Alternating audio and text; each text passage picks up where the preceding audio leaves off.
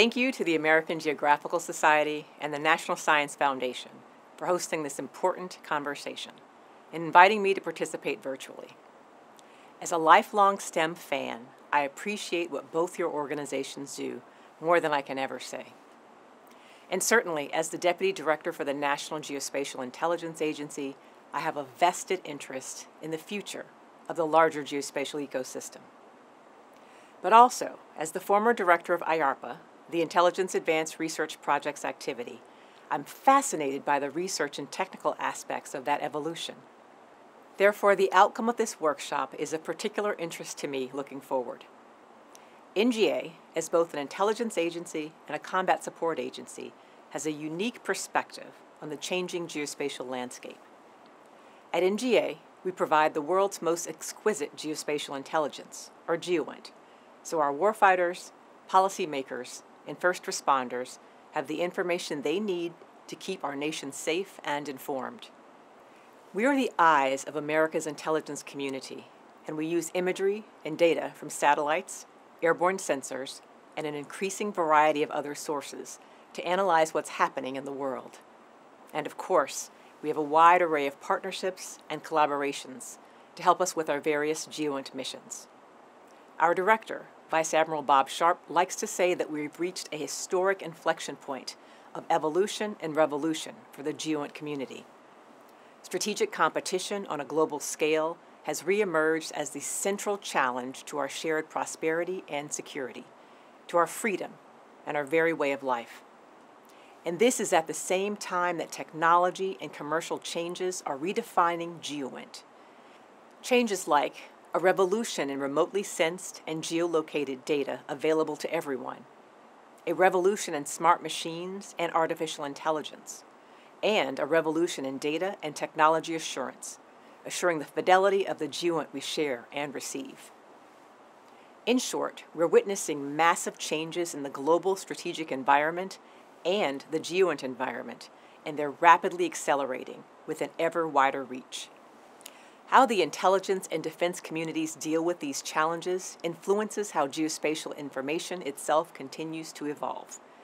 For example, new technologies, driven by wartime needs in World War II and developed by partnerships between government, industry, and academia, change the modern world. Today, in this new era of global strategic competition and broad geospatial access, our goal is to continue to strengthen and expand our alliances, partnerships, and collaborations across the full spectrum of GEOINT missions.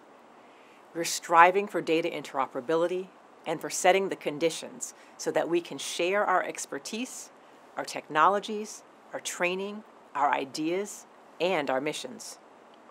As the government's functional manager for GEOINT, Admiral Sharp is responsible for setting the standards for the larger federal GEOINT community, and we play a role in the international geospatial intelligence community as well. We're mindful of the important role that GEOINT can and will play in confronting future national security and other global scale challenges. That's why I'm so pleased that the goal of this workshop is to promote a geoconvergence, as you call it to better integrate the larger geospatial community.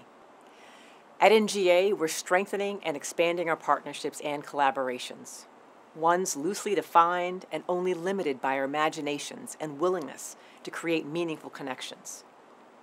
Partnerships exist so that we can collaborate and expand alliances with domestic and international teammates to fulfill our common vision for a mission integrated, professional, and resilient GEOINT community. We also need to continue to leverage commercial capabilities and improve coordination between the federal government, the military, national laboratories, commercial industry, and academia. At NGA, we focused our effort through what we like to call our moonshot. The term was inspired by President Kennedy's moonshot goal in 1962, when he called for America to land a man on the moon and return him safely. Well, Admiral Sharp has called on us to pursue our own moonshot and our moonshot is a shared vision that unites our workforce. It centers on delivering trusted GEOINT with the speed, accuracy, and precision required for the speed of mission need.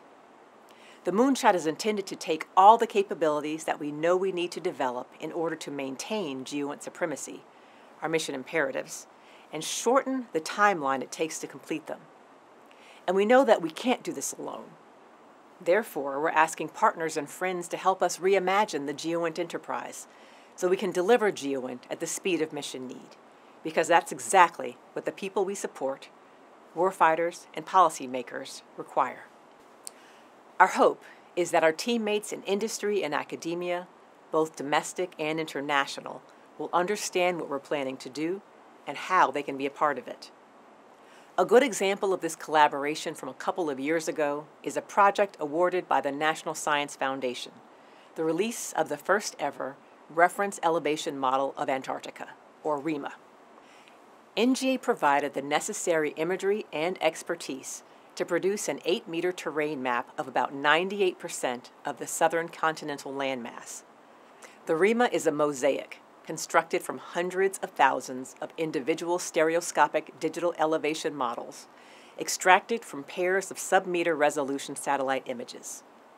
The Antarctic REMA team used an algorithm extensively tested by NGA experts to process the images and create the final mosaic. The map strips are time stamped to allow researchers to perform change detection in great detail across Antarctica and compare observations of topography data acquired in different seasons or years. The model was generated using the Blue Waters supercomputer at the University of Illinois at Urbana-Champaign and by applying specialized techniques using open source software developed at the Byrd Polar and Climate Research Center at Ohio State University. The Polar Geospatial Center at the University of Minnesota also provided support, and Esri produced the REMA viewer. This successful National Science Foundation project had many teammates working together on it, executing a shared plan. While we love it when a plan comes together like that, not all of the efforts we're pursuing these days were necessarily planned in advance. For example, the COVID 19 pandemic has also provided an unexpected opportunity to reimagine our mission more quickly. As part of the agency's adjustments to the pandemic, our analysts have embraced commercial data and services in some unprecedented ways. The pandemic channeled our analysts' drive and innovation into finding new ways of supporting our mission and our customers from home. COVID 19 accelerated the expanded exploration and use of commercial solutions and services in a telework environment.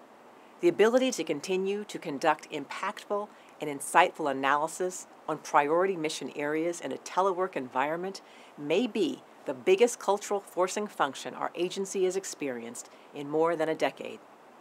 It gave us an opportunity to step beyond our classified facilities and take advantage of the vast opportunities available in the commercial world, and to team up with industry in new and exciting ways. It's changed our mindset and tradecraft, and the way we work with each other, and we expect this change will be enduring. In fact, we're planning on it. Leveraging commercial data creates superb opportunities for us to further mature how we team with industry and how industry teams with us. And these opportunities let us explore new potential solutions to address challenges and missions critical to NGA. It's energized us to look beyond traditional imagery partners and seek data and analytics service partners. And it was just eye opening that we were able to do so much analytic work on priority areas on unclassified networks. It was a great example of our workforce's ability to reimagine their mission areas, because using commercial data the way we did on a variety of missions wasn't even thought possible before by some of the analysts who later delivered those outstanding and more easily shareable results. And speaking of commercial data, there is more and more of it every day. NGA is currently aware of more than 100 commercial Earth observation satellite constellations covering various imaging modalities like multispectral, hyperspectral, and SAR all around the world. We use these in some cases to produce unclassified products, and in other cases, we start with unclassified information and then add in classified information later and finish the analytic work at the classified level. For the 2020 wildfires on the U.S. West Coast, NGA is part of our humanitarian assistance and disaster response mission, supported frontline firefighting efforts by providing key geospatial data and collaborating with other U.S. government organizations. Through our work in 2020, we helped improve the detection and monitoring of new and emerging wildfires in California, Colorado, Oregon, and Washington state. Commercial data played an important role in our support. In one specific example, NGA scientists used commercial data from sources like Google Earth Engine to detect and map burn scars, providing a comprehensive view of select burned areas in Oregon. We were able to quickly send this information to the Federal Emergency Management Agency within 24 hours, assisting them in combating the devastation.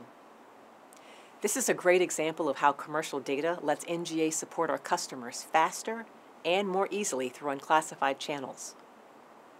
Another way NGA is using commercial data is through our data labeling pilot.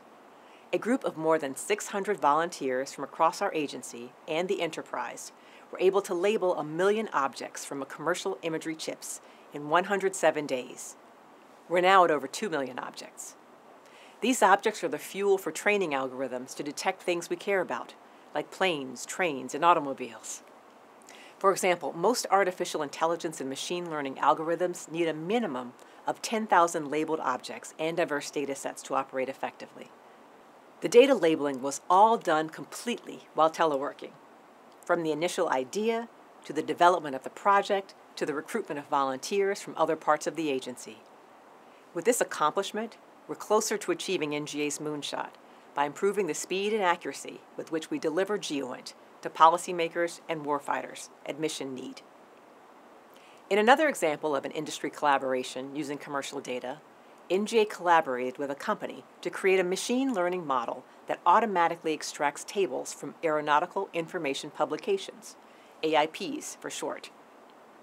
Our employees are responsible for manually identifying changes in AIPs collected from over 200 nations' civil aviation organizations, averaging more than 250,000 pages of updates every month. This information is used to continuously update aeronautical navigation products disseminated every 28 days to enable the safe navigation of aviators around the globe. It's part of our Safety of Navigation mission. Using a train, test, evaluate, and repeat method, the model now automates over half the manual review of one country's AIP. Imagine the time savings with 200 countries. We accomplished this during the COVID 19 crisis in only four months. Now, instead of spending several hours visually scanning and comparing the documents line by line, analysts see changes highlighted by the algorithm in the original document, and in minutes can have an exported list of comparisons.